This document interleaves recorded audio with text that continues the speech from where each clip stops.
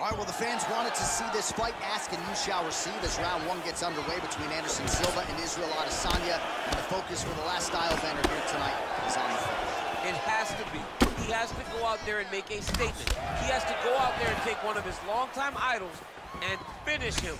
That can be difficult mentally, but Anderson is so tough, it will also be very difficult for him to accomplish physically. These guys throwing early. Oh!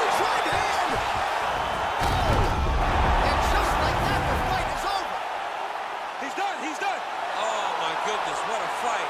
Yes, sir, it goes into the books as a first-round win by knockout, near-perfect execution.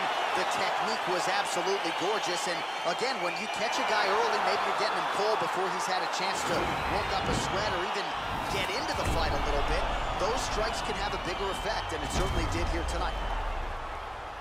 Now we go inside the octagon. Bruce Buffer with the official decision.